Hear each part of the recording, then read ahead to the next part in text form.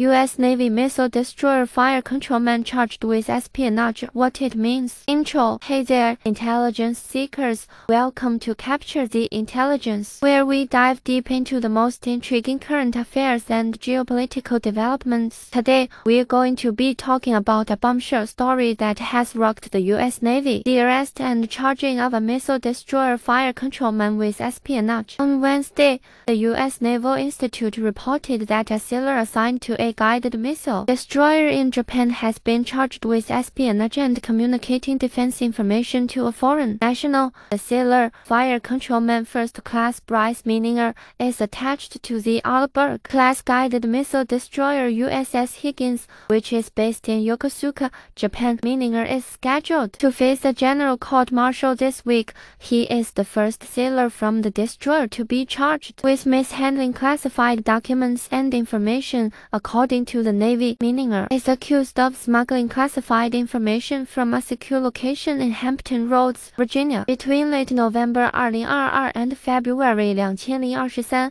he is alleged to have provided the information to an employee of an unnamed foreign government. The charging documents do not specify the type of information that Menninger is accused of sharing. However, they do allege that while in Yokosuka, Japan, he attempted to transmit photographs to a foreign national that included images of computer screens designated for handling classified information. According to the charging documents, Menninger was apprehended shortly after the attempted espionage incident in Japan. He has been in pretrial confinement since May 19, 2023, over nine months. The charges were referred to a general court-martial on January 18, 2023.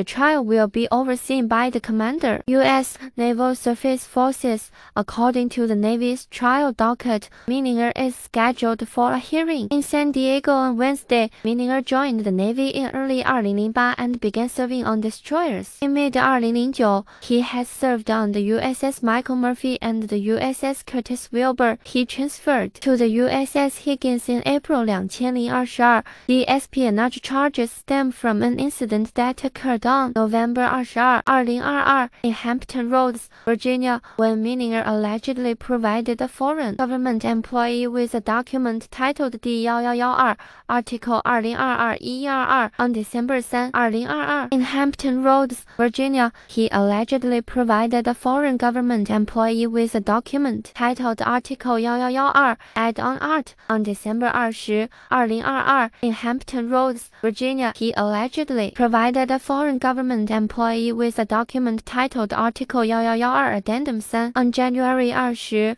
2023. In Hampton Roads, Virginia, he allegedly provided a foreign government employee with a document titled Article 1223 on January 20, 2023. In Hampton Roads, Virginia, he allegedly provided a foreign government employee with a document titled Article 1223 Addendum E on February 5, 2023. In Hampton Roads, Virginia, he allegedly provided a foreign government employee with a document titled Article 1223 Addendum R on February 19, 2023. In Hampton Roads, Virginia, he allegedly provided a foreign government employee with a document titled Article 1223 Update on May 8到 11, 2023. In Yokosuka, Japan, Menninger allegedly attempted to transmit information relating to defense intelligence, including images of computer screens containing classified information to a foreign national. It's important to recognize the seriousness of these charges. Espionage is a grave offense that can have serious consequences for national security. Menninger is accused of attempting to transmit classified information while in Japan. This suggests that he may have been targeting U.S.